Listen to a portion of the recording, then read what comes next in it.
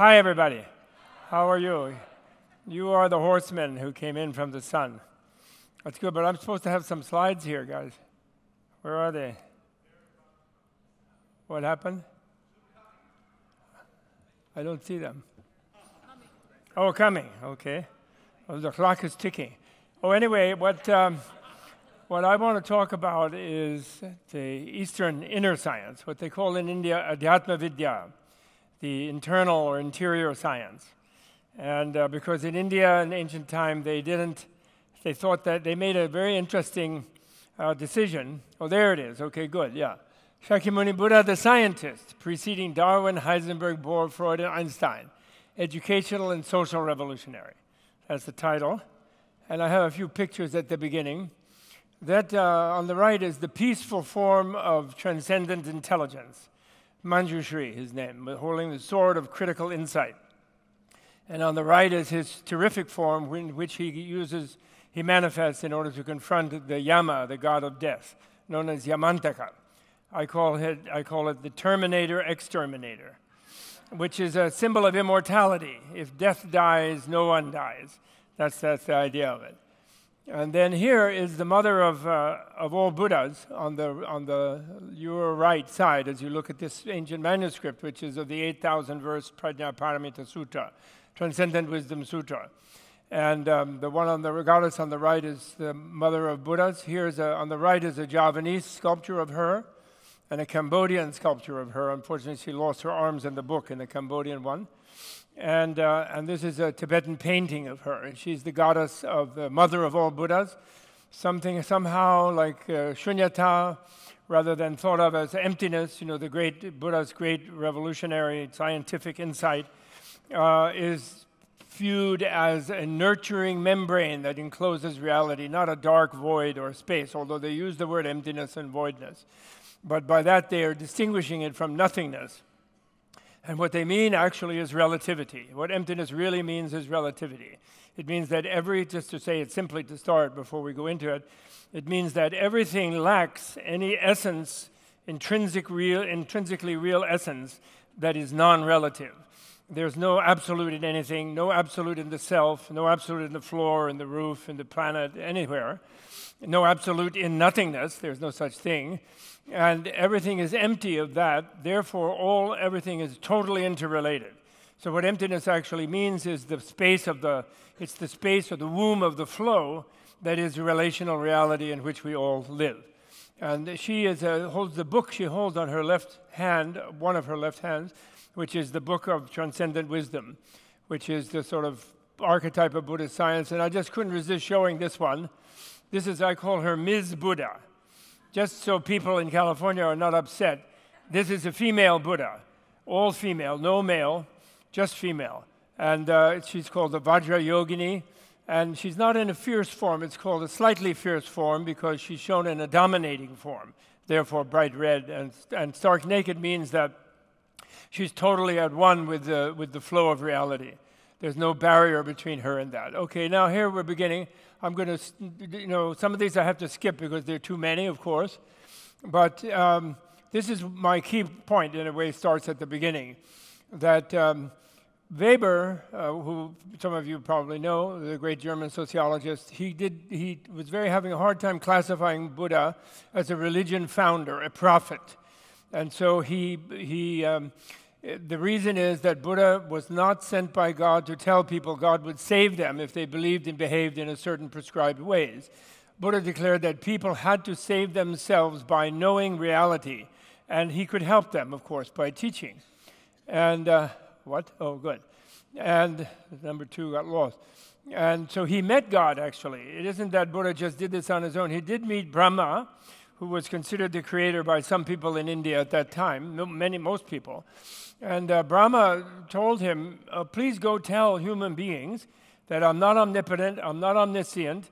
I like it when things go well for them and they worship me. I, I admit I like it. I have a little bit of an ego, a God ego.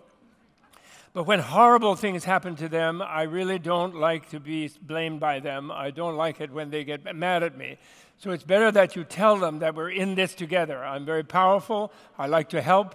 But uh, they have to, they create their own suffering equally with me. We work together on it. You know, um, the, the, the Buddhist view of reality is that reality is made of a meeting of minds. It isn't just any one person's mind, it's a meeting of many minds, and not only human minds, human and divine and demonic and all kinds of minds. So, so therefore, Weber tried to solve that by saying Buddha was an exemplary prophet rather than an emissary prophet, and the latter being the usual kind that founds religions and so forth. So I'm trying to, let's go. Oh, yeah, so today I'm putting forth the thesis that Buddha was first and foremost a scientist in the true sense of the word. That is to say, he sought to discover the nature of reality and describe the functions of causality.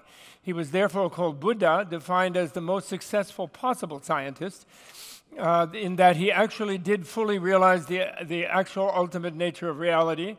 He, he awakened, and also to have understood the deepest workings of causality, he blossomed into enlightenment. So both, both um, uh, second, he understood that reality is ultimately excellent, supportive, and beneficial. Loving meaning, loving meaning satisfying, having an infinite energy to satisfy the needs of all sensitive beings who are open to that infinite energy. And that it wasn't his, it didn't belong to him, but it is the nature of ultimate reality, it's his discovery. That's what nirvana means. And that other beings could also understand it other human beings, especially privileged to do so. Divine beings also can understand it. And that only by understanding it can they find freedom from their suffering. Against Socrates, who said the unexamined life is not worth living, a little more pessimistic than Buddha, human life is definitely worth living, whether examined or not, but it will be unsatisfactory and frustrating if not fully examined, investigated, and then understood, which was the radical thing for Buddha, saying that ultimate, that reality can be understood. We can understand it completely. It isn't that we have to take some authority's word for it, or we come up to some idea that ultimately you can't know anything. In a way, you can't know it in a dualistic, conceptual way, but you can experience it and know it in the real way of thoroughly understanding it, according to him. That was his. That's why I actually in my youth, I abandoned Western things and I got into Buddhism. It was not because I was seeking religion, it was because I was seeking understanding. And I was told from both sides, the spiritual side and the scientific side, that you can't understand things, so you have to rely on authorities. And I didn't like that. And so, third, his education system was de- designed to be transformative of the whole society, not just the individual. But the transformation, transformation does proceed one individual at, at a time, one SAND conference at a time. no doubt there are contested. Um, the universities are not really delivering it, frankly. I must say, after four, almost 50 years of working in them, they are not really delivering these understanding. They are, they are indoctrinating kids that they must follow different authorities and making them fit for productive work, et cetera, et cetera, besides charging them lots of money, much too much money. No doubt there are contested views about what is reality and ideas derived thence about what is realistic. So the, the Dalai Lama, I might skip this because the Dalai Lama is, has been in dialogue with scientists, and this is thought to be a big thing that a leader of a world religion takes an interest in the secular, anti religious tradition of modern science, even though its definition is crippled by the dogma of materialism, which, of course, you've heard a lot about here. And Deepak, why I love Deepak's work very much, in that he challenges this orthodoxy that we have where the scientists are the high priest of a certain type of culture that we are brought up in, and uh, they are like the new Inquisition, if you will, you know. And Deepak has the guts to go after that, which I think is really very good. Uh, so, but what if the Buddhist tradition, you know, the Dalai Lama is doing this within the Buddhist tradition, not just as his own idiosyncrasy? What if the enlightenment of the Buddha and his followers were found to precede the also rational, empirical, and therefore scientific tradition arisen in ancient Greece and after the Renaissance, after a long, dark period in Europe and today globally. What if Buddhism was a secular in the sense of based on the present reality and not on religious authority movement, rebelling against religion from its beginning? That, in other words, if you see the Renaissance and the, and the Reformation and the Enlightenment as a rebellion against religion, what if Buddhism did that 2,500 years earlier? or maybe 2,000 years earlier if we, go, if we look at that number. So I, I propose affirmative actions to them, and I'm not seeking a privilege for Buddhism among religions. Among religions, it's a, it, it's a religion for those who don't study it thoroughly, who just use it in some way of depending upon it. but who, who, who, go into its education system, it's really not, not what we define, modern social scientists define as a religion, namely a belief system and a, and a ritual system, although they have rituals and beliefs. I acknowledge that my argument is intentionally quite challenging to our current academic consensus, which is in need of the major paradigm shift I'm offering and that Deepak offers that we're so all struggling toward, and some scientists are struggling toward. But young scientists have to be very careful or they'll ruin their careers. If the old scientists can do it, because then the other ones will say, well, they're over the hill, so now they're looking for a little, looking for a little consolation after chopping up those frogs all these years. And and uh, and the young ones don't dare do it, or they won't get tenure, or they won't get hired. You know, they're oh, like some weirdo. They go to the SAND conference. Uh oh, you know. Uh, the, the, the CSICOP and this kind of organization will see to it that they have a hard time getting hired in regular academia. So I think I'll skip this one. I'm, I'm, I'm, I'm, challenging these, these, this, this consensus. And, uh, but I'm saying that you know, we think that we're forward and we're so developed and we're so knowledgeable. And you know, the, our definition of enlightenment is having a PhD and having a tenure in a research university if you're in a science, especially if you're a natural scientist. Social scientists are desperately trying to be like natural, natural scientists, and, and humanities scholars want to try to get social scientists, social science backing so they can feel real, you know. And, uh, and the humanities are like that's uh, window dressing for cocktail parties to be able to mention, mention Dante or something like that. I'm sorry, but that's our university system. And, um, but I'm saying we are not advanced. We are backward, actually. We are a backward civilization or culture. Like Gandhi said to Churchill, famously, you probably know that, many of you, in this conference, where Churchill asked Gandhi, like, what did he think of our British civilization? And Gandhi said, British civilization? Why, that would be a good idea.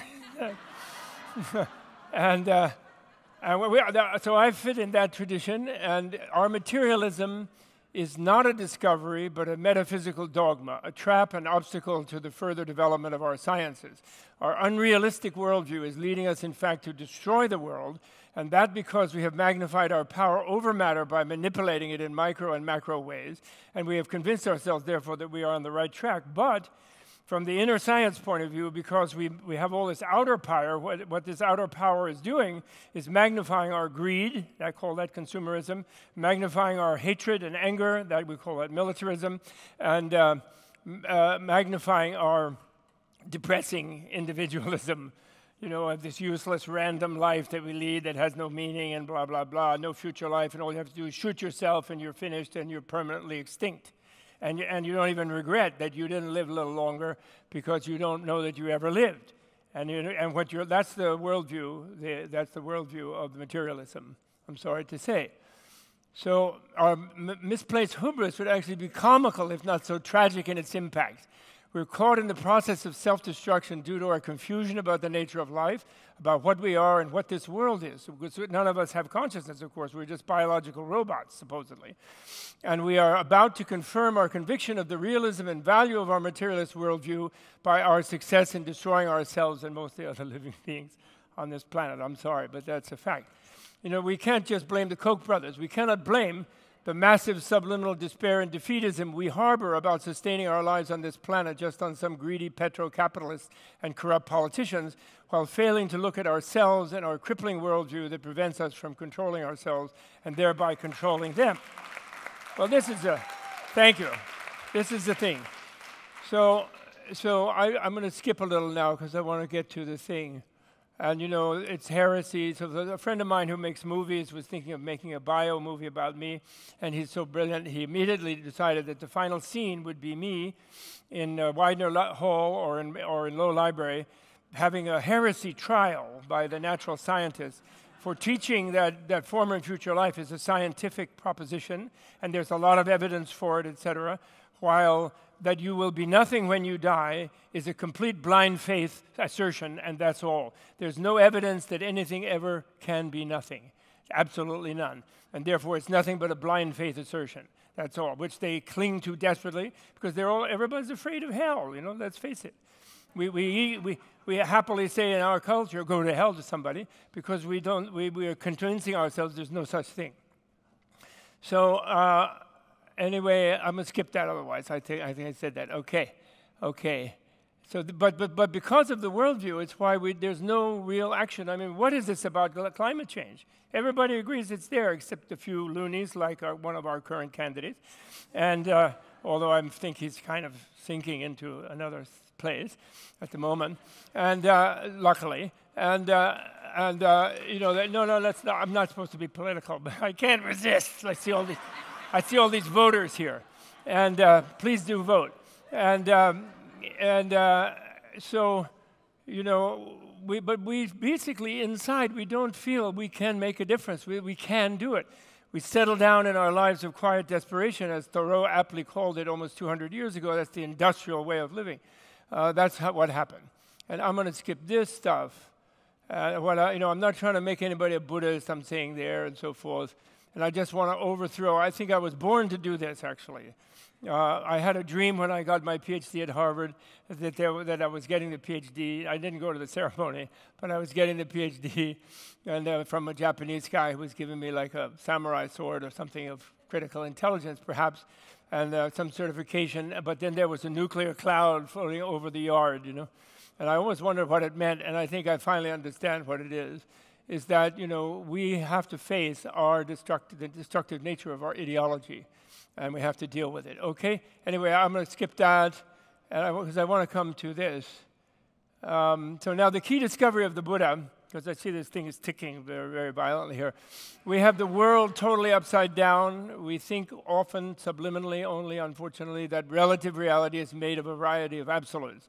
We think that we, especially ourselves, are absolutes, again, subliminally, except when we lose ourselves in the grip of strong emotion or conviction.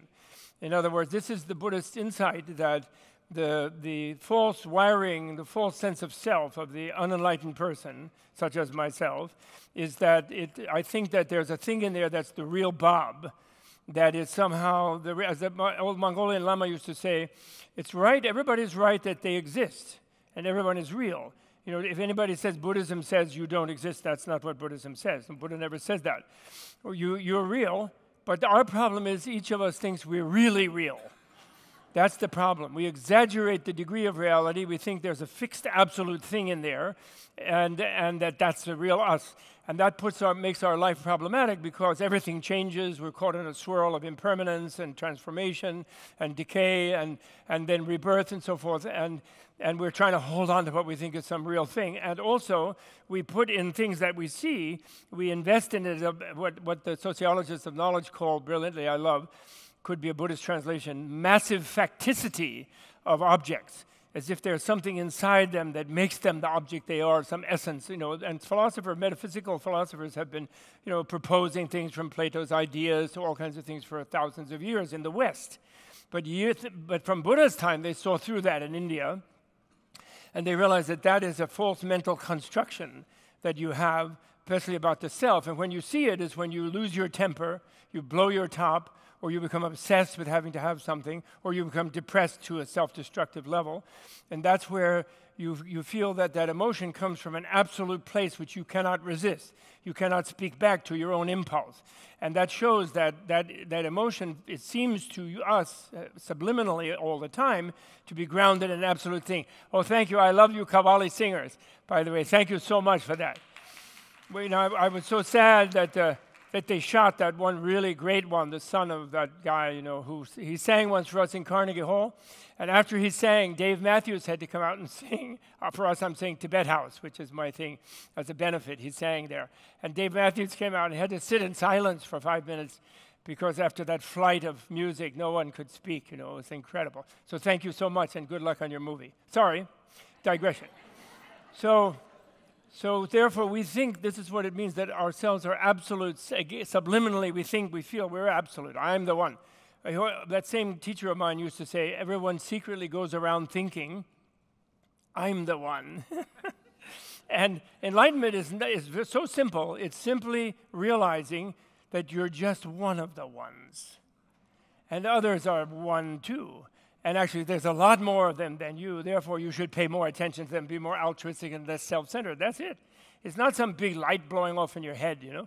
There are lights that go off in your head for various reasons, but, but some good, some bad. But, uh, but that's not what enlightenment is. Enlightenment is identifying with everything and everyone, where love becomes the way, the natural mode of exchange between you and them, which is why it's associated with the female, with the mother of all Buddhas, which is the wisdom of selflessness. Okay? So I'm jumping because I know the time. So our fixed, rigid self identity is the real us we think. We are not just real, we're really real that it opposes a world which itself is absolutely other than us. And that situation, me versus universe, is obviously a losing proposition and produces only frustration, alienation, and suffering. This is really what Buddha discovered. So Buddha investigated this unfortunate situation, and luckily he found that we were in error, and that the fixed separate self is an illusion, which doesn't mean that there's no self relational self, a constantly changing work in progress or work in decay, one or the other self, which doesn't mean growing old doesn't put it in decay necessarily, but behaving badly does put it in decay, and uh, which imprisons and cripples the flowing relational self. And that's the big no self thing in Buddhism. It is not, it's really the same in, when they talk about supreme self in Hinduism, Vedantic Hinduism, they really mean the same thing when they say neti neti. It isn't this, it isn't that, it isn't your small sense of personality and so on. They're headed that way. Buddha just doesn't like to say that at the outset because you know, he, he thinks people will attach to that the distorted view that they have that my ego and my me is the real thing. I'm the real one. So he starts out with an anatma to challenge that habitual inner wiring, miswiring.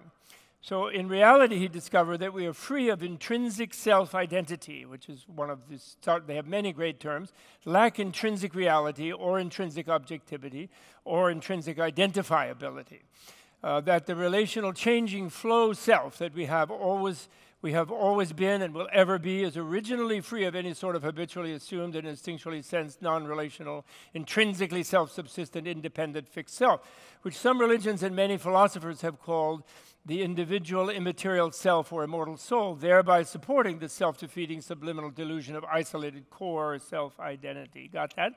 You should. You should. It's really not complicated. It's really very simple so Buddha realized his freedom from such an unreal psychosis causing alienated, isolated self habit with what's called the selfhood instinct, the absolute selfhood instinct, I should say. Astonished, he vastly enjoyed the release of his relative self. He realized experientially, his which is the same as experimentally, you scientists. experiment leads to experience, even if it's a measurement. And you can also experience something by measuring it in, with your own cognitive embrace when you, when you transcend your subjective uh, withdrawal from things, thinking that you capture them with a theory or a number or something like that. You, you directly intuit their reality. That's, that, that is, that's what the Buddhist wisdom is about. Uh, so he realized experientially his infinite interconnection with all life beings and things. Because when you realize emptiness, the, you know, many people, even in Buddhism, mistakenly think when they have that sky experience, that vast experience that you have when you look for that hardcore self and don't find it, if you really have the concentration, you will have a kind of experience where everything disappears, you disappear, but sort of you have a continuity of having gotten into it, and you feel a great release when you're in it, and you think this is really great, it's all one, and but and luckily nobody's here to bother me, and it's all me.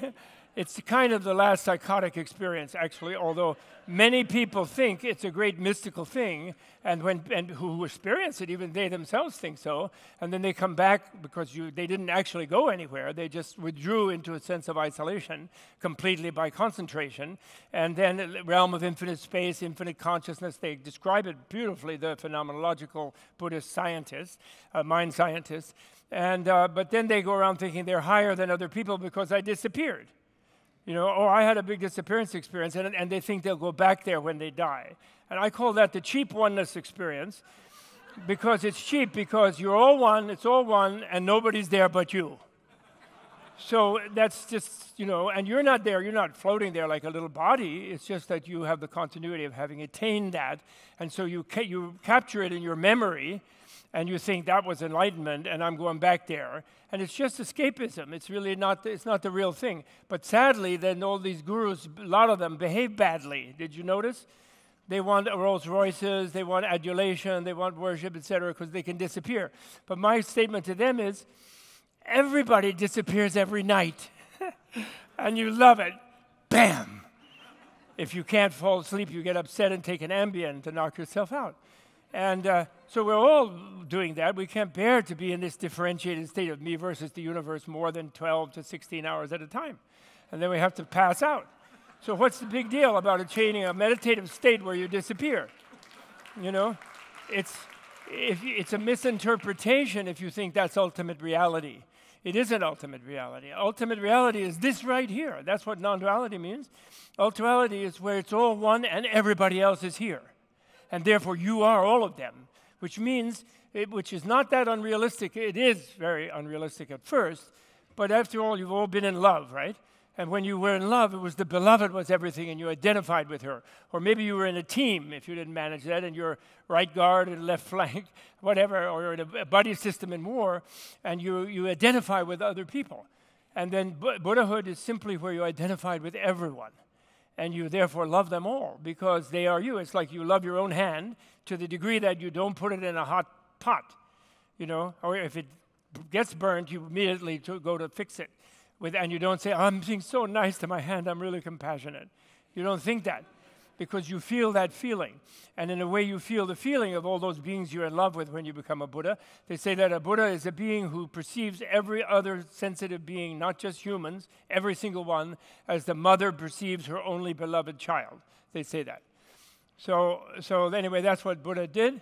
He realized that, and he felt, rea- because the problem is, you see, you couldn't be in love and experience yourself as one with the others if you didn't have that experience I was a little bit teasing about, where it all disappeared, because then when you come back from that, you realize that your experience of others as being separate from yourself is illusory. It's not an absolute illusion, but it's illusory. And you realize that they also sort of can disappear when looked for in the absolute sense. And I always tell people as an exercise, they should do a thought experiment. Every physicist should do it. Try to find their own nose. You know your lifelong, lifelong hood ornament? Your nose, unless you have a really small one, it's always out there going ahead of you, right? Like the, like the Mercedes hood ornament, you know, the little triangle. It's your nose. But try to find your nose in a scientific manner. Pinpoint it exactly. Find exactly what is the nose and not the cheek and not the air in the nostril, etc., the, the, the brow. Where does the nose stop and start? What is the nose? You will, it will dissolve under analysis. You'll have a thought experiment. You'll be like Einstein, you know, you'll, the clocks will turn backwards and everything, and your nose will disappear. And then it'll be back. But then when it's back, once it disappeared, when you try to really pin it down, you realize it's just a relative nose. Then you can be cool about your nose. If you get a big boil on the tip of it, you're a little more relaxed about it, you know, because it's not absolute nose. But see, we think it is an absolute nose, and yet those kind of thought experiments are used meditatively very powerfully, and all of that stuff you read in Heart Sutra, everything, there's no nose, no eye, no ear, no etc. It means in that look of really pinning down what it is. It's all there when you don't look for it in that analytic way, and you can flow with it as a relational thing that you relate to. So, so, but then, so then he sees, he's able to identify with all beings because he sees them all as made of that same bliss that he has found because the emptiness is not nothingness, it is the fabric of everything. But what it is, is by that relativity, there is an infinite, you know, sustaining energy within all of it. You know, it's the pantheistic heresy as far as your heavy Protestant theologian goes. It's like eh, God is everywhere in it. It is the love of God is everything. It makes everything. It, it's what the, in a way, it's the ultimate substance. We call it the clear light of the void in, in the Buddhist uh, science, you know, mind science. And so, so therefore, he can identify with all because he sees everyone as actually all right.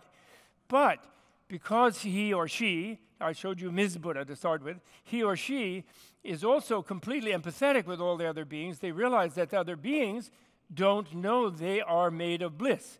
And they're like, mad because they don't have enough bliss and they want this and they want that and they need the other and they're afraid of the other and they are doing also harmful things to others which is making them more isolated from them and it's really it's unethical and bad and they're feeling worse and worse and so that's where then the compassion cannot ignore the wisdom cannot ignore that others don't share that view and therefore all one can do for them, but one cannot force them. You can't be a bliss bomb or something. You can't go hug them if you huggable, when you, luckily everybody who's huggable I know is, in this conference is not paranoid, because go try to hug a paranoiac, and you'll find yourself in the World Wrestling Federation. You know, they'll be freaked out. They'll think you're an enemy and you're coming to do something to them. So, so, you, so, so they have to learn themselves to open themselves to their actual reality, which is actually okay. That's the key discovery of Buddha. Buddha's key discovery is not suffering. That everybody knows about suffering. It doesn't take a Buddha. What Buddha's key discovery is is nirvana, freedom from suffering. That that is our potential, that is our possibility, and that we can all attain actually. And we will actually even. Nobody will not attain it. Resistance is impossible. We will be assimilated by nirvana. There's no question. Luckily, it won't make us into robots. It, we can we assimilate it by being alive to our own reality and our own loving hearts and our own open mind. You know, that's what it is. Okay, so now, uh, yeah, I'm going on. Then I talk. The Buddha had, three bodies. You know, reality body, beatific body, and emanation bodies. But I don't want to explain all of that because of the time, which is running short. So he, now this is really fun. This experiential, empirical discovery is science-based, not religion or faith-based. He rebelled against the Vedist religion of the time, particularly its sacrificialism, the idea of taking an animal's life in order to in order to do something holy, and that God wanted a burger or something. I mean, that he didn't like that. He was freed by knowledge, become wisdom, intuition, and so can we all be. And the first step is called the realistic worldview. First step is not meditation, actually. First step is called realistic worldview, which is felt to be necessary realistic worldview in order not to go in a wrong place through meditation because you, meditation can take you, you know, your Parris Island recruit meditates on hatred of the enemy and becomes more violent, in fact. So meditation is a neutral tool of conditioning of a person to become more some particular way, and you have to choose the target that you meditate on, and that's the realistic worldview, the first branch of the Noble Eightfold Path.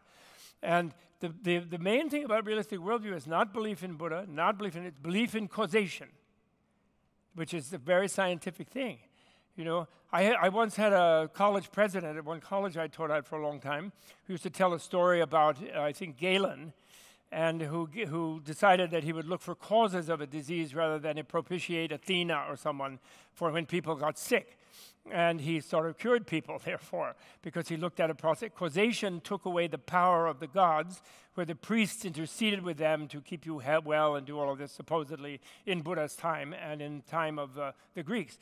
And the discovery and use of analysis of thing by causation is the paradigmatic scientific thing.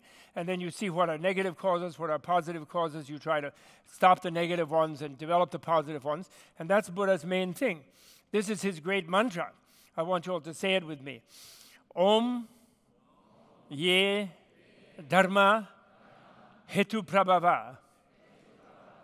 Hetun Tisham Tathagata. Hyavadat Tisham Chayo. Nirodho. Evam Vadi. Mahasramaniye. Swaha. what that means is all things, of all things that arise from causes, what are those causes, and how to interrupt them, how to, how to cease them. That is the path taught by the great um, shramana, which means like something like dropout or vacationer, I like to translate it. People often translate it as ascetic, but I think that's a little incorrect. I call it the great vacationer because he dropped out of the rat race because he wanted to use his life to become enlightened, because that's what human the aim of life in Buddhism is learning. All you academics, be happy what you, that you do that. Learning more, and all of you who are here at this conference, learning is the aim of, is the purpose of life. You don't learn to go out and make money or make something in a factory or produce this and that or raise a family. That you might do all those things, but the more you learn, the happier you are, and um, and your brain likes to learn. You know, and those who teach and those who study know that, and that they know that's the most marvelous thing. Anyway, all science works with causal processes, and uh, I have to skip because um, I want to go to the more shocking things. That's Four Noble Truths. I wish I had time. I wish I had time. Four Noble Truths are so good, but I said it already mainly of the Four Noble Truths, or Noble Facts, as I, I think is more, sounds more secular, and that's a possible translation. And the Four Noble Facts are that, you know, if you're unenlightened, meaning you think it's you versus the universe, and that's the real situation, then you will suffer because you will never conquer the universe. Even you can, you know, be a billionaire and live in the Trump Tower, you will not conquer everybody. We are noticing. And uh, second, Second, the source of that is a distorted ego sense, an exaggerated sense of self. It is not the fact that you are there, that's not wrong, but that you're really there and you're the main person there. That is obviously the source of sickness, which we are all seeing nowadays all the time. On, and we can find it on Twitter. and and uh, and uh, that's the second one. Third one is that there is freedom from that, and that is the more, more real reality. The real reality is freedom from suffering. It is bliss. It's being blown away. Nirvana literally means being blown away. And, uh, and then finally, there's an educational path education in ethics, education in mental insight, and education in wisdom, which is science, actually, investigating reality, external as well as internal. And so, uh, so here, the Shunyata Karuna Garbham this is the discovery of relativity. I think the day will come, probably not in my lifetime, but where scientists, you know, modern, so called modern scientists, might decide that someone without all the machinery, without, the, without Ford motor cars and subways and atom bombs, might have discovered relativity long ago, and it might actually be a more comprehensive relativity than the mathematical one that Einstein did, leaving intact some things like gravity and speed of light and spooky action at a distance and God not playing dice and all this. Why shouldn't God have a little dice game? And, and uh, you know, that was already discovered, and it was so fully discovered and so fully realized that the consequence of everything being interrelated, which is that the purpose of life is compassion, is love. That's what life is about.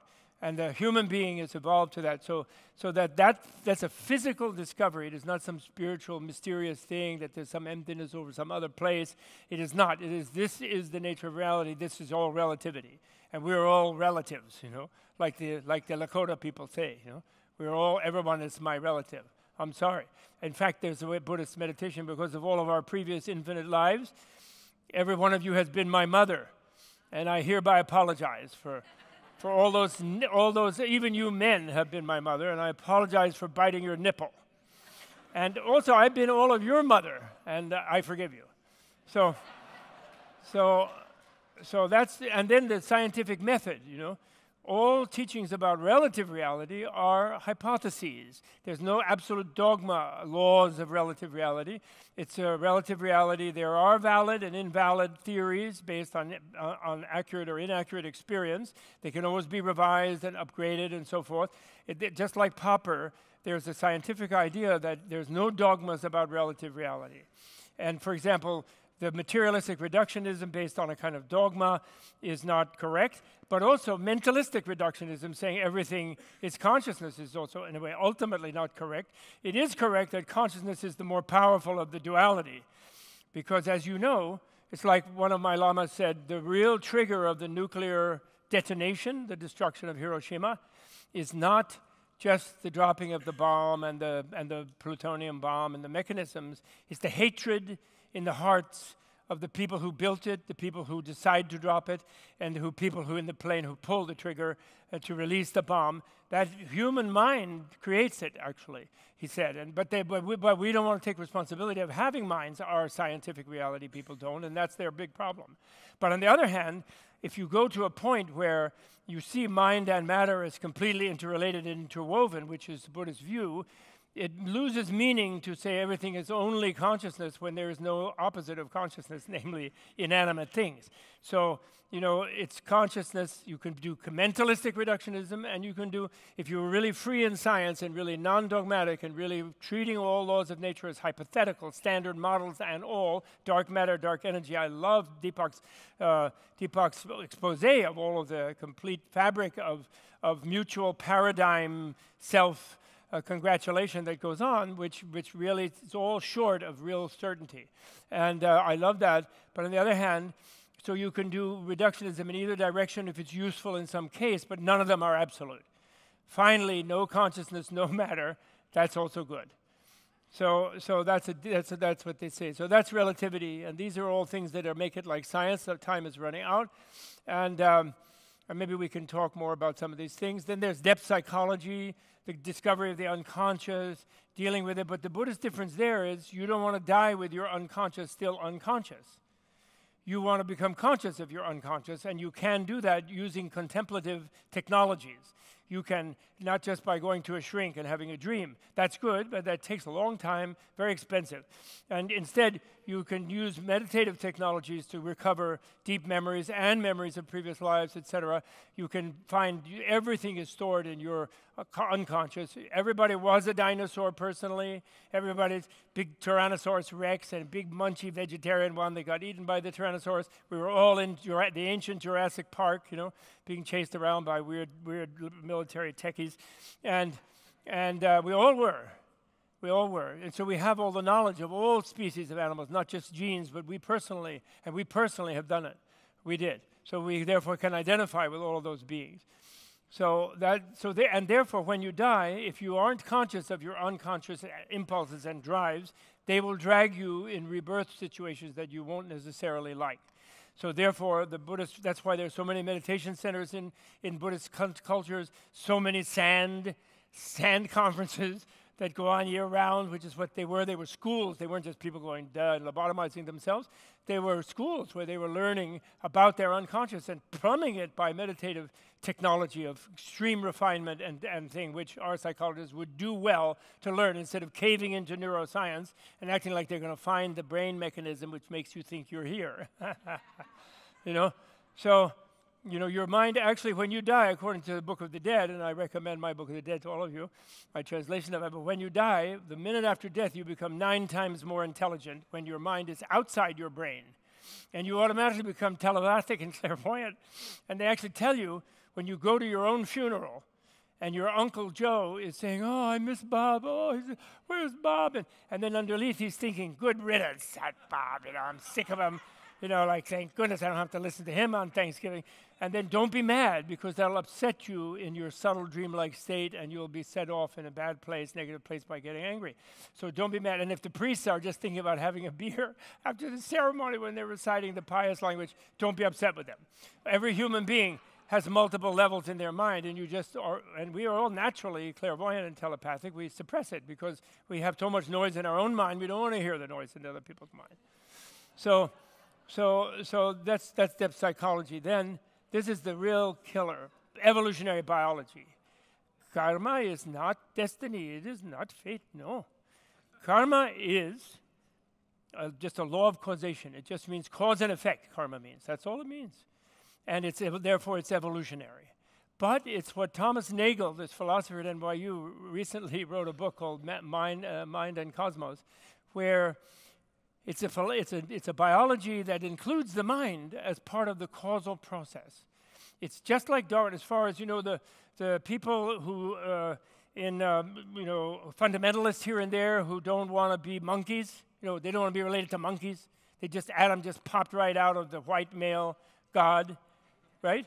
And, uh, and he was there, right? So that's what they want to be connected to, and they don't want to be like monkeys or people of other races, or males don't want to be like females, something like that.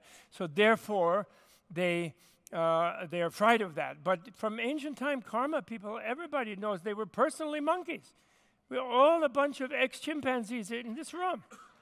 It, it, it's like not a big deal. We just lost our hair, and we're kind of weird. We have no tail anymore. We can't climb trees. Everyone was personally, not just your genes, you yourself. And that was accepted to people, billions of people over many centuries, as a very commonsensical thing. And so, and the mind is what gets you there. If you live like a chimpanzee, when you die, like I had a lama, I know it's running way out here. I had a, I had a lama who was really upset about Miss Piggy. He was very nervous about it. He kept complaining about Miss Piggy. He was staying in our house for a year, academic year, giving lectures and me translating at Amherst College. And he said, That Miss Piggy, I like her too, he said, but young children, if they die prematurely and they just really have the hots for Miss Piggy, it's not a good thing. they may seek rebirth in a pig form, thinking it's so nice you know, they'll ignore the no blonde hair and lipstick and everything, and they'll just they'll see Mama Pig and they'll head for it and become one of the little piglets. And then there'll be sausages in the store. You know, it's really not a good thing. And we kept trying to, oh, it's okay, Rinpoche. There are a lot of animal stories in Buddhism. It's not a problem. Yeah, but you don't have a TV thing with colors like blazing it into the unconscious of the young person. So he was very worried about it. Anyway, so 2,400 years ahead of Darwin, rejecting Creator, of omnipotent and putting the blame on him, rejecting a non material soul, and seeing even the soul as just super subtle energy, which is, but they're keeping that a little esoteric so that people couldn't do it. So that's evolutionary karmic biology and, and uh, fully accepting relativity without being nihilistic. And because ethics becomes like that, if you were just, let me give one example. I know I ran out of time, but I'm stopped. Just one last example. When you, because the ultimate goal in evolution is to identify with all life and be one with all beings in a loving, compassionate interconnectedness. That's called enlightenment. Then anything that broadens your connection to other beings is virtue. And anything that cuts it off is sin or negative, anti negative evolution. And so killing another animal is like saying that life is not connected to me. You don't actually kill. The soul of that animal goes on, whether animal or human. It goes on, and then actually, they, when they see you in their next life, they don't really like you subconsciously because you just killed them in the previous one.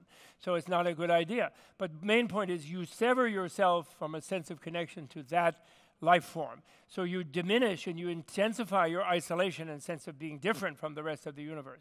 If you save a life, you embrace that life and you sort of say, Well, I'm responsible for that. It connects to me, and therefore my, I'm, I'm expanding my being. I'm being this other being whose life I saved as well, just on a simplistic level. So all Buddhist ethics is grounded in this hypothesis. Of course, karma is just a hypothesis because it's about relative reality. It's not the ultimate nature of emptiness slash relativity.